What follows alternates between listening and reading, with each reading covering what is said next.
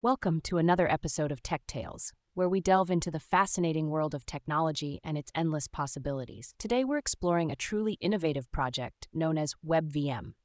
Imagine booting up a fully functional Linux virtual machine right in your web browser. No downloads, no installations, just pure serverless magic at your fingertips. Sounds intriguing, right? So, what exactly is WebVM? Well, it's a Linux virtual machine that runs entirely client side using HTML5 and WebAssembly. Yep, you heard that right. It's designed to be Linux ABI compatible and even runs an unmodified Debian distribution with various development tools included. This means you can access a wide range of programming and development environments, all while lounging on your couch with just a laptop and an internet connection. Now, you might be thinking, okay, that's cool, uh, but how does it actually work? Great question. WebVM is powered by the CheerpX virtualization engine, which allows for safe, sandboxed execution of x86 binaries in your browser. It does this with a few components. It includes an x86 to WebAssembly JIT compiler, a virtual block based file system, and a Linux syscall emulator. Talk about impressive tech. And what if we wanted to get connected? Modern web browsers don't provide direct APIs for TCP or UDP connections, but fear not. WebVM beautifully overcomes this limitation by integrating with Tailscale, a VPN network that uses WebSockets for connectivity. It's kind of like turning your ordinary web browser into a secure gateway to the broader virtual world. Let's break this down a bit. Have you ever had that moment when you're coding something and you just wish you didn't have to deal with cumbersome installations?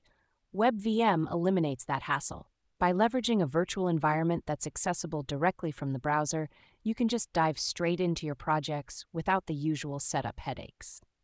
You know, it's almost like the tech equivalent of ordering your favorite meal with just a click. Now, for the more hands on tech enthusiasts out there, you might be wondering whether you can customize this experience. The answer is a resounding yes.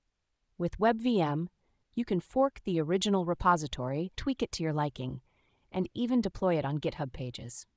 If you're curious about deploying your own version, it's as simple as adjusting a few settings and running workflows to get everything up and running seamlessly. Imagine having your very own tailored virtual Linux setup on GitHub. But like any great technology, WebVM isn't without its bugs and issues. The beauty of open source projects is that you can report problems and contribute to improvements. The community thrives on collaboration, and feedback is often welcomed via their Discord channel. How awesome is it to be part of a community that's continually evolving and enhancing the tech we use every day? Oh, and let's just take a moment to appreciate the richness of this ecosystem.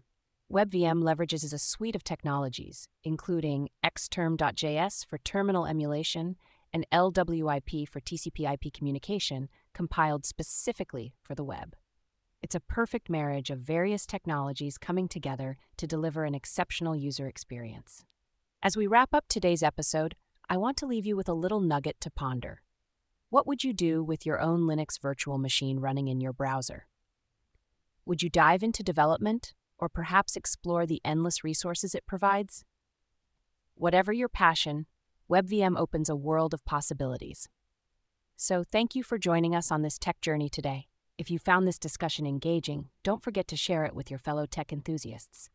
Until next time, keep exploring, stay curious, and remember innovation knows no boundaries.